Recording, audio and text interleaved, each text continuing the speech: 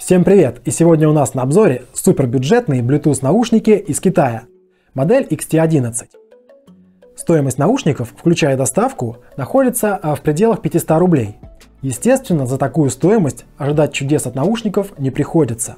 Но все же, данным обзором я хотел показать, что следует ожидать от наушников за такую стоимость. Ну что же, начнем наш обзор. Итак, наушники поставляются вот в таком бюджетном пакетике. Внутри имеется инструкция на китайском и английском языках, микро-USB кабель для зарядки, две пары сменных амбушюр, ну и конечно же сами Bluetooth наушники. Начнем с инструкции. Сразу бросается в глаза, что текст написан очень мелким шрифтом, наверное для экономии. По содержанию все довольно понятно, и с минимальным знанием английского можно легко разобраться. Сменные амбушюры – так как у людей разные по форме размеру уши, то обычно в комплект кладут амбушюры разного размера. Здесь, как мы видим, амбушюры одинаковые, и при необходимости покупателю придется докупать их самостоятельно. Вот, к примеру, комплект амбушюр наушников Mi In-Ear Headphones Pro. Микро-USB кабель. В целом обычный кабель, разве что немного грубоват пластик, но это скорее придирки. Наконец, сами наушники. Вначале хочется сказать несколько слов о конструкции.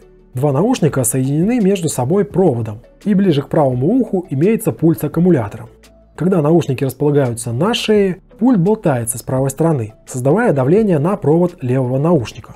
Это доставляет определенное неудобство при ношении наушников, а также может стать причиной преждевременного выхода из строя и без того не очень надежного на вид провода гарнитуры.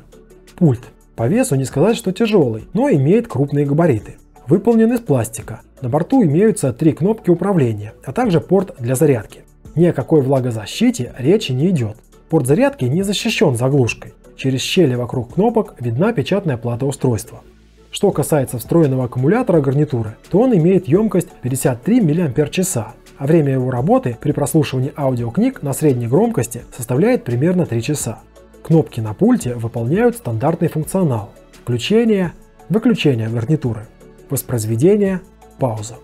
Регулировка уровня громкости. Следующий трек – предыдущий трек.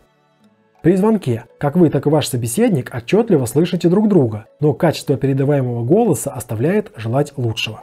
Наушники имеют двухцветный световой индикатор. При включении и работе гарнитуры индикатор мигает синим цветом. При выключении и зарядке наушников загорается красным. Что касается самих наушников, то они очень легкие и выполнены из пластика с зеркальным покрытием, на котором хорошо заметны различные отпечатки.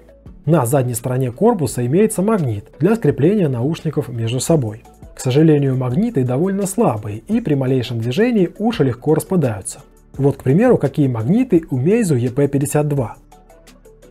Также при скреплении наушников Meizu воспроизводимый трек ставится на паузу, и через 5 минут гарнитура автоматически выключается. У героя сегодняшнего обзора такого, к сожалению, нет, и все приходится делать вручную. Ну и наконец мы переходим к главному – звучание наушников. И здесь, к сожалению, все обстоит довольно плачевно. Во-первых, гарнитура не стерео, в ней нет разделения на левый и правый каналы.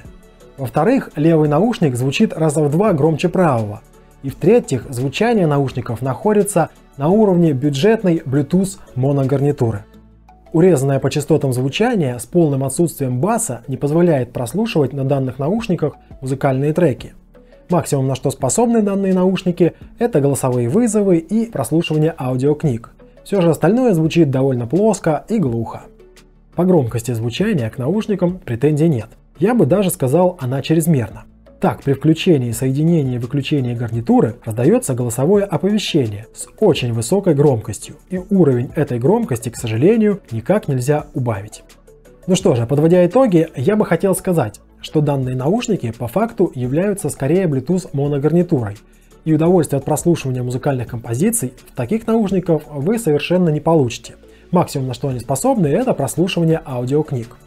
От себя я бы хотел порекомендовать использовать хоть и бюджетные, но проводные наушники, такие, например, как Xiaomi Piston Fresh. Данные наушники обладают прекрасным звучанием за свои деньги. Если же вы все-таки хотите получить качественно звучащие беспроводные наушники, то здесь вам стоит смотреть в сторону наушников, бюджет которых находится от нескольких тысяч до нескольких десятков тысяч рублей. За такую стоимость вы действительно получите качественный беспроводной звук. Ну что же, это был обзор Bluetooth наушников XT11 из Китая. Всем спасибо за просмотр, подписывайтесь на канал, комментируйте, ставьте лайки. Всем пока!